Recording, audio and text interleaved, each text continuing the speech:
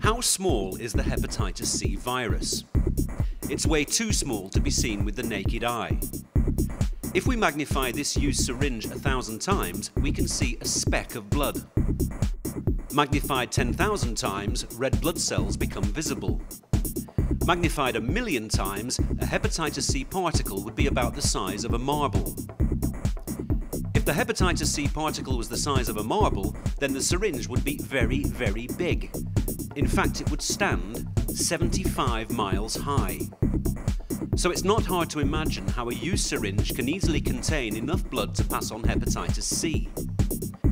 If any injection equipment is shared, there's a high risk of transmitting the hepatitis C virus. Don't inject. If you do inject, protect yourself.